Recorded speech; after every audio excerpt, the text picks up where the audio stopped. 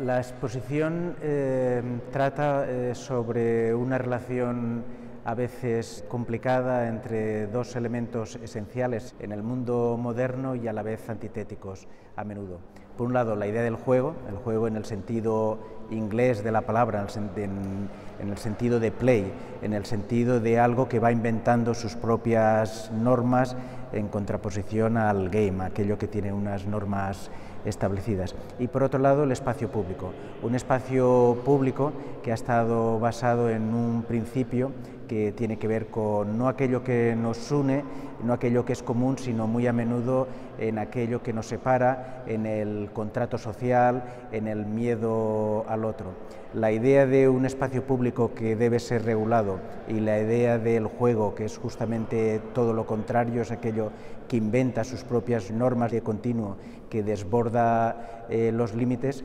es de algún modo un elemento recurrente a lo largo de todo el siglo XX. A partir de ahí, eh, a principios eh, de la modernidad, cuando las relaciones sociales estaban basadas en la fábrica, en el trabajo asalariado, en el trabajo con un horario fijo, se pensó en el ocio, en el momento de descanso como una necesidad social, como una necesidad social para evitar eh,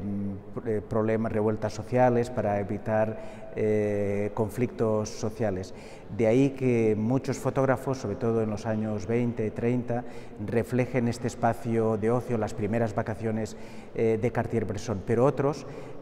también reflejan este espacio como un lugar distópico, como un lugar que en realidad está apartado de la sociedad, un lugar artificial, un lugar sobre todo que sobre todo a partir de un cierto momento es un lugar de alienación más que un lugar donde se establezcan afectos y se eh, creen conocimientos.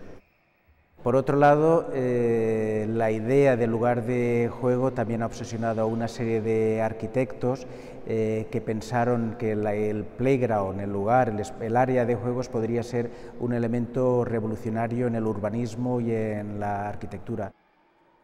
Esta exposición tiene mucho que ver con la situación actual, una situación donde el ocio ha dejado de ser, ya ni siquiera es una distopía separada de la sociedad, el ocio es aquello eh, en el cual se basan nuestras relaciones eh, sociales.